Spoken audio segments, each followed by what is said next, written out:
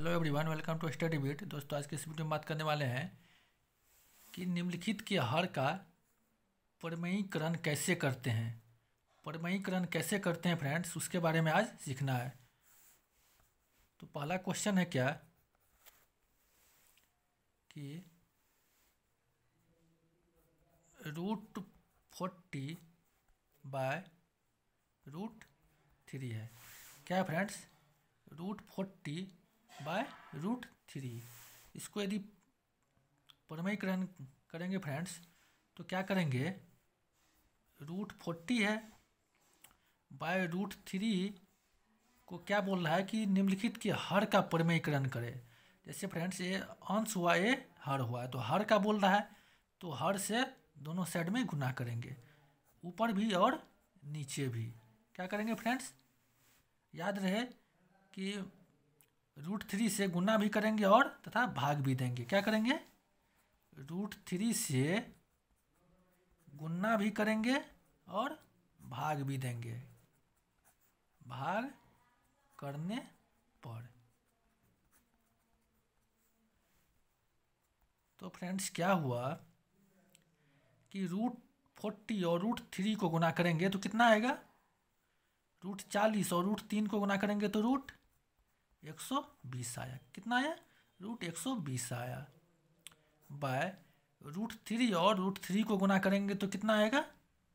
Root nine आएगा। कितना आएगा? नाइन आएगा। तो यहाँ पे रूट एक सौ बीस को लिख सकते हैं फ्रेंड्स। इसको यदि गुणनखंड करेंगे तो चार गुने तीस लिख सकते हैं। क्या लिख सकते हैं? चार गुने तीस। और रूट नौ का बड़मूल क्या होता है? तीन होता है। क्या होता है फ्रेंड्स? तीन।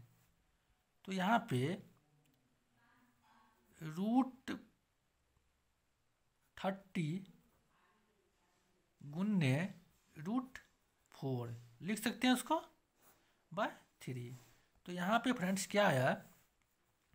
रूट फोर का बड़मूल क्या होता है? टू आता है into root thirty by three यही आपका क्या आ गया फ्रेंड्स आंसर आ गया। जैसे friends root forty by root three है तो हर का परमीकरण बोलने, करने के लिए हर का तो root forty by root three तो हर से दोनों साइड में गुना करेंगे और भाग करेंगे, ऊपर भी और नीचे भी, ऊपर में गुना करेंगे और नीचे से भाग करेंगे तो रूट एक सौ बीस बाय रूट नौ आया तो इसको क्या करेंगे, एक सौ बीस को गुणनखंड करेंगे तो चार गुने तीस आया तो रूट तीस आ गुने रूट फोर तो रूट फोर का बरमूल क्या आएगा फ्रेंड्स टू इसके बाद रूट थर्टी का बरमूल नहीं आएगा तो ऐसे ही लिख डालेंगे तो रूट थर्टी बाय रूट नौ का बरमूल क्या आया? तीन आया। क्या आया? तीन आया। अब इसके बाद फ्रेंड्स देखते हैं सेकंड क्वेश्चन क्या है? सेकंड क्वेश्चन है क्या? कि सोलह by root forty one minus five इसको भी क्या करना है फ्रेंड्स हर का परमयीकरण करना है। क्या करना है? हर का परमयीकरण करना है। तो यहाँ पे क्या करना है? सोलह by root forty one minus five. क्या है? Root forty one minus five. इसको क्या करना है? पहला क्वेश्चन बताए थे फ्रेंड्स कि ऊपर में गुना करना है और नीचे में भाग करना है उसी अंक से, यानी हर के हर के अंक से। तो क्या है?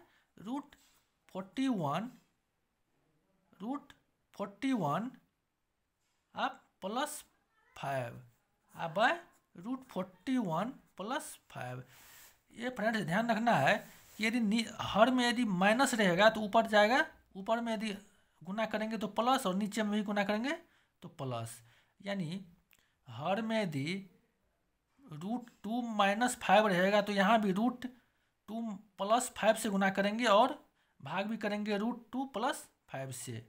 क्या करेंगे? रूट टू और प्लस फाइव से.